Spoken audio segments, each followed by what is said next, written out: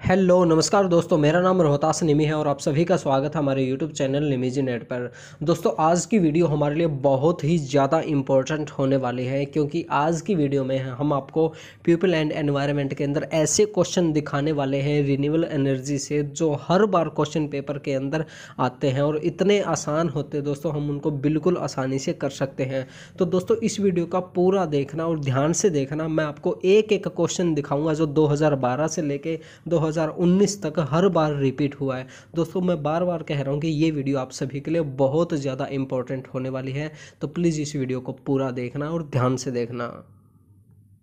दोस्तों, क्या आपके साथ कभी ऐसा हुआ है कि आप यूजीसी नेट एग्ज़ाम में पाँच या दस नंबर से रह गए हो? और दोस्तों, क्या आप चाहते कि अब की बार भी दोबारा फिर से आप पाँच या दस नंबर से फेल हो जाए नेट या जेआरएफ लेने में? दोस्तों, आप ये ऐसा बिल्कुल कभी भी नहीं चाहेंगे और अगर ऐसा किसी भी दोस्त के साथ होता है तो बहुत ज़्यादा दुख होता है हमें। तो दोस्तों, देर किस बात की? इस दीपावली के शुभ अवसर पर हमने आप सभी के लिए एक ट्वेंटी डेज़ क्रैश कोर्स निकाला है। इस कोर्स में, दोस्तों, हम आपको पेपर फ़र्स्ट के सभी टेन यूनिट की अच्छे से स्टडी करवाएँगे। Ten unit PDF study notes देंगे और दोस्तों, इसके अंदर हम आपको बीस दिन के अंदर पूरा का पूरा रिविजन करवाएँगे हर एक यूनिट का। इसके साथ साथ दोस्तों, हम आपको दो हज़ार बारह से लेकर दो हज़ार उन्नीस तक ओल्ड पेपर पीडीएफ देंगे, जिसके अंदर आपको दोस्तों topic wise old question paper मिलेंगे। जैसे कि आज तक जितने भी रिसर्च के क्वेश्चन आए, वो हमने अलग रखे हैं। कम्युनिकेशन के जो आए, वो हमने अलग रखे हैं। टीचिंग के अलग रखे हैं। इस तरीके से दस की दस यूनिट के हमने टॉपिक अलग कर रखे हैं। दोस्तों, उनको देख के आप बहुत ही अच्छे से अपनी स्टडी कर सकते हैं। इसके साथ साथ हम आपको थियोटिकल नोट्स और थियोटिकल वीडियो देखते हैं। उनसे आपका पूरा का पूरा कॉन्सेप्ट क्लियर हो जाता है। इसके अलावा दोस्तों, हम आपको इस पेड कोर्स के अंदर ये बताते हैं कि ऐसे कौन से क्वेश्चन है जो एग्ज़ाम के अंदर हर बार आते हैं। और कई क्वेश्चन तो ऐसे दोस्तों, जो जून 2019 एग्ज़ाम में और दिसंबर में और पहले भी बिल्कुल डिट्टो कॉपी आए। उनकी स्टेटमेंट और ऑप्शन भी बिल्कुल डिट्टो कॉपी होते हैं। दोस्तों, अगर हमें इन ऐसे क्वेश्चन का पता चल जाता है तो हम बिल्कुल आसानी से अपना नेट प्लस जीआर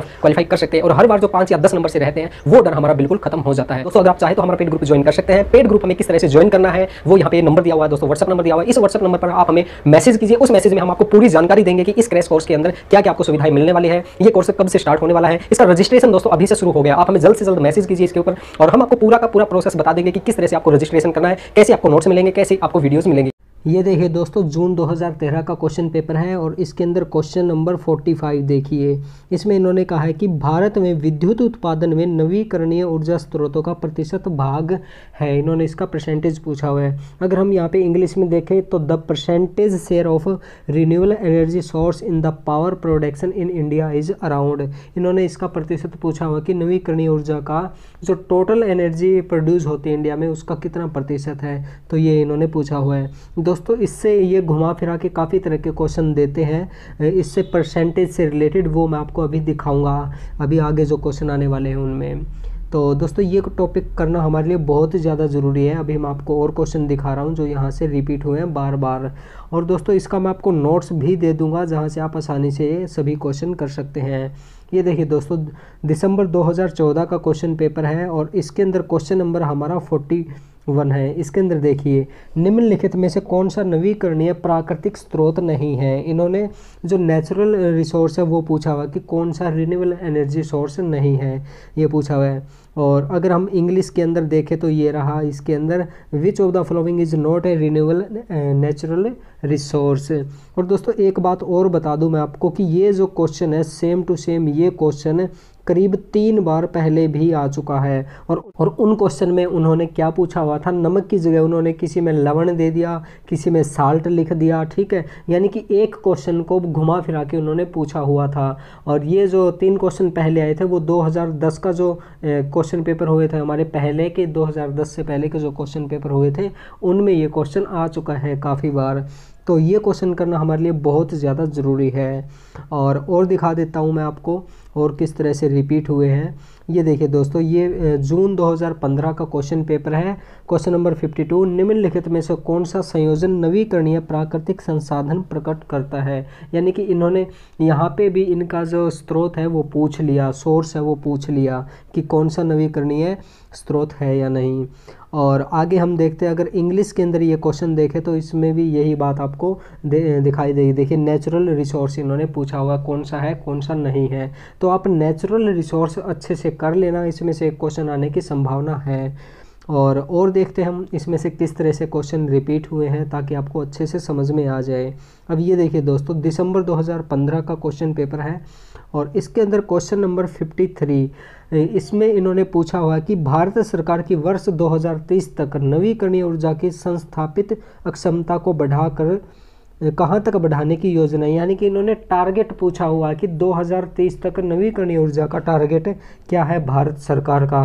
तो इसका जो आंसर है दोस्तों 350 गीगावाट है। और इसमें देखिए, इन्होंने यहाँ पे 2030 का पूछा हुआ है तो काफ़ी काफ़ी बार ये 2022 का भी पूछ लेते हैं 2025 का पूछ लेते हैं तो इन सभी का हमें पता होना ज़रूरी है। और मैं बार बार कह रहा हूँ कि इसका मैं नोट्स आपको दे दूँगा, अभी मैं दिखाने वाला हूँ, उस नोट्स में सारी की सारी चीज़ें कवर की हुई है। तो चलिए अब हम अगला क्वेश्चन देखते हैं। ये देखिए, जुलाई 2016 का क्वेश्चन पेपर है। इसके अंदर क्वेश्चन नंबर 50 है। इसमें कहा है कि वर्ष 2022 तक बायोमास से विद्युत उत्पादन हेतु सरकार का लक्ष्य है। दोस्तों, ये भी जो है हमारा रिन्यूएबल एनर्जी से ही रिलेटेड क्वेश्चन है। इसमें भी इन्होंने टारगेट पूछा हुआ कि बायोमास से विद्युत उत्पादन का लक्ष्य क्या है? ठीक है तो ये सारी की सारी चीज़ें आप अच्छे से कर लेना, अभी मैं आपको नोट्स दे दूँगा। अगर आप इंग्लिश में देखना चाहो तो ये क्वेश्चन यहाँ से इंग्लिश में भी देख सकते हैं। अब ये देखिए दोस्तों, अगस्त 2016 का क्वेश्चन पेपर है और इसके, अब ये देखिए दोस्तों क्वेश्चन नंबर 44 है। इसमें इन्होंने 2022 तक नवीकरणीय ऊर्जा का जो टारगेट है वो पूछा हुआ है इन्होंने। ठीक है, ये देखिए लक्ष्य रखा है, यानी कि इन्होंने टारगेट पूछा हुआ है कि 2022 में क्या लक्ष्य रखा हुआ है सरकार ने। तो दोस्तों, यहाँ पे आप देख सकते हैं कि पहले उन्होंने 2030 का पूछा हुआ था, अब इन्होंने 2022 का पूछ लिया। तो अगली बार हो सकता है 2025 का पूछ ले या 2028 का पूछ ले तो इनके बारे में हमें पता होना ज़रूरी है। तो चलिए अब हम अगला क्वेश्चन पेपर देखते हैं। अब ये देखिए दोस्तों, हमारा है जनवरी दो दो हज़ार सत्रह का क्वेश्चन पेपर है। इसके अंदर क्वेश्चन नंबर फोर्टी सिक्स है कि भारत सरकार का लघु जल विद्युत परियोजना से वर्ष 2022 तक पावर उत्पादन का लक्ष्य है अब देखिए दोस्तों वही बात आ रही है। टारगेट पूछ रहे हैं बार बार किसी में बायोमास का पूछ रहे हैं तो किसी में जल विद्युत का पूछ रहे हैं। देखिए हमारी कई तरह की जो ऊर्जा प्रोड्यूस कर सकते हैं हम जैसे कि पानी से कर सकते हैं हवा से कर सकते हैं और काफ़ी तरह से हम प्रोड्यूस कर सकते हैं। तो उन सभी का इन्होंने घुमा फिरा के पूछा हुआ कभी। और आगे हम देखते हैं कि आगे किस तरह से क्वेश्चन रिपीट हुए हैं इसमें से। आ, ये देखिए मैं आपको दिखा रहा हूँ। तो दोस्तों, यहाँ से आप देख सकते कि हमारे लिए ये करना कितना कितना ज़्यादा ज़रूरी है। अब ये देखिए दोस्तों, ये हमारा क्वेश्चन पेपर है। जुलाई 2018 का री एग्ज़ाम री एग्ज़ाम का मतलब ये है दोस्तों, जो कुछ स्टूडेंट्स का यानी कि इलाहाबाद में पता नहीं कौन से सेंटर पे वहाँ पे दोबारा एग्ज़ाम हुआ था, पचास सौ स्टूडेंट्स का। तो उस एग्ज़ाम की मैं बात कर रहा हूँ, ये सभी का नहीं हुआ था, कुछ स्टूडेंट का हुआ था। तो उसमें हम देखते कि ये क्वेश्चन किस तरह से रिपीट हुआ था। इसके अंदर अगर हम बात करें तो क्वेश्चन नंबर मैं दिखाऊँ आपको। हाँ ये देखिए दोस्तों, इन्होंने पूछा, नवीकरणीय ऊर्जा स्रोतों के दोहन के लिए भारत सरकार के लक्ष्यों के अनुसार 2022 तक।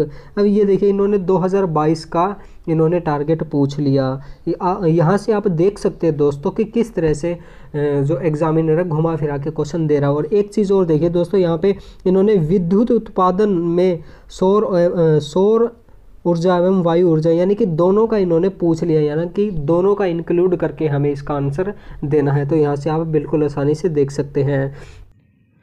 इसके बाद देखिए दोस्तों, यही क्वेश्चन जुलाई 2018 में भी आया है रिन्यूएबल एनर्जी से रिलेटेड और इस तरह का जो क्वेश्चन है ना दोस्तों, जो सीरीज़ में लगाने का, ये करीब तीन से चार बार पहले आ चुका है। ये 2000 करीब 15 में भी आया था 2010 में भी आया था 9 में भी आया था। इस तरीके से तीन से चार बार ये क्वेश्चन आ चुका है। और अब देखिए, जुलाई दो हज़ार अठारह में भी ये क्वेश्चन आया है। तो रिन्यूएबल एनर्जी यहाँ से आप देख सकते हैं कि हमारे लिए कितना ज़्यादा इम्पोर्टेंट करना ये टॉपिक है। और यहाँ, ये जो क्वेश्चन है दोस्तों, ये मैं आपको बहुत अच्छे तरीके से करवाऊँगा कि किस तरह से हमें ये करना है। अभी मैं केवल और केवल आपको दिखा रहा हूँ कि किस तरह से क्वेश्चन आते हैं। आगे हम देखते हैं दोस्तों रिन्यूएबल एनर्जी से कैसे क्वेश्चन आते हैं। ये देखिए दोस्तों, ये दिसंबर 2018 का क्वेश्चन पेपर है। इसके अंदर ये देखिए source of renewable power which can we develop with minimum cost is यानी कि रिन्यूएबल एनर्जी के अंदर ऐसा कौन सा सोर्स है जो बहुत कम कॉस्ट के ऊपर डेवलप किया जा सकता है। तो इसके अंदर बायोमास है दोस्तों। तो यहाँ से आप देख सकते हैं कि कितने क्वेश्चन आ रहे हैं और कितने आसान तरीके से हमसे पूछ रहे हैं।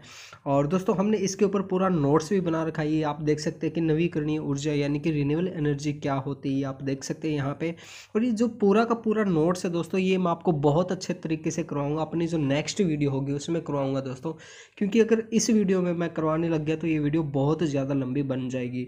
तो अगली जो वीडियो होगी दोस्तों हमारी, उसके अंदर मैं आपको बहुत ही अच्छे तरीके से करवाऊँगा कि जो दो हज़ार बाईस के अंदर क्या लक्ष्य रखा गया है, दो हज़ार तीस के अंदर क्या क्या लक्ष्य रखा गया है और कितना मेगावाट है बायोमास से इलेक्ट्रिसिटी से, कितना क्या कुछ है, ये सारी चीज़ें मैं आपको करवाऊँगा।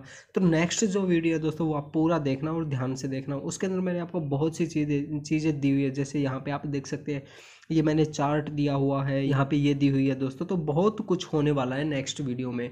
और दोस्तों, अगर आपको ये नोट्स चाहिए तो आप हमारा पेड ग्रुप भी ज्वाइन कर सकते हैं। हम आपको पेड ग्रुप के अंदर 2012 से लेकर 2019 तक ओल्ड पेपर पीडीएफ देते हैं। जैसे कि आपने देखा कि हमने यहाँ पे एनवायरनमेंट की अलग बना रखी है, यानी कि एनवायरनमेंट से जितने भी क्वेश्चन आए हैं, वो हमने अलग कर रखे हैं। टीचिंग से अलग कर रखे कम्युनिकेशन से अलग कर रखे हैं तो उनसे आपको बहुत अच्छे तरीके से पता चल जाता है कि ऐसे कौन से क्वेश्चन है जो बार बार क्वेश्चन पेपर में रिपीट होते हैं और वही क्वेश्चन करके आप बिल्कुल आसानी से अपना नेट प्लस जे जी क्वालिफाई कर सकते हैं। तो दोस्तों, अगर आप चाहे तो हमारा पेड ग्रुप ज्वाइन कर सकते हैं और पेड ग्रुप ज्वाइन करने के लिए ये जो नंबर नीचे दिया हुआ है, इस पर आप हमें मैसेज कीजिए, आपको पूरी जानकारी दे दी जाएगी। और दोस्तों, अभी दीपावली के ऊपर एक शुभ और दोस्तों, अभी दीपावली के ऊपर एक बहुत ही अच्छा ऑफ़र भी चल रहा है। तो जल्दी से जल्दी हमें मैसेज कीजिए कि किस तरह से हमें ग्रुप में ज्वाइन होना है। तो दोस्तों, आज के लिए बस इतना ही। अगर आपको हमारी वीडियो अच्छी लगी तो इस वीडियो को लाइक कीजिए, शेयर कीजिए, कमेंट कीजिए। और दोस्तों, अगर आपने अभी तक हमारा चैनल सब्सक्राइब नहीं किया तो प्लीज़ हमारे चैनल को सब्सक्राइब कर लीजिए और घंटी का बटन ज़रूर दबाइए ताकि आप हमारी आने वाली वीडियोज़ को आसानी से देख सकें। थैंक यू दोस्तों।